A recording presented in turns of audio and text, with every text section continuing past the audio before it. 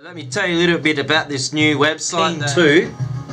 On here, and it says an advanced social network collectively elevating our lives. Okay, so it's keen2creative.com. So it's I'm loving Keen. I'm loving Keen too. Keen too is a lot great. of people say they ain't keen. A lot of people say it's a problem. They say they ain't keen. But they say it's a problem. But I say keen isn't the problem. It's the solution. It's it's the solution. Keen is the solution. The solution. A lot of people say they they ain't keen.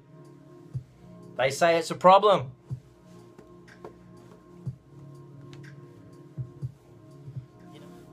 Can be keen on the bus. You can be keen at work. You can be keen on your phone at the football field playing basketball.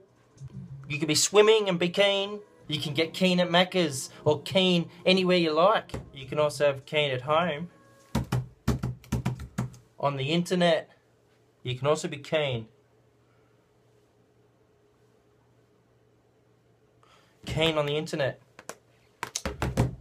Because you can select the topics that interest you the most. You can select the topics that you like the most. We're creative people.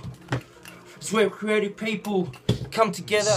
Coming together to form an idea on like-minded subjects and topics. And they connect and collaborate. Collab, co, collaborating. People like you and me on a simple website. It's where creative people with creative minds, they connect and collaborate, you know, on this and this. They collaborate collectively. It's it's where creative people they connect collaboratively right. on a app on a tablet or a mobile phone or your home computer.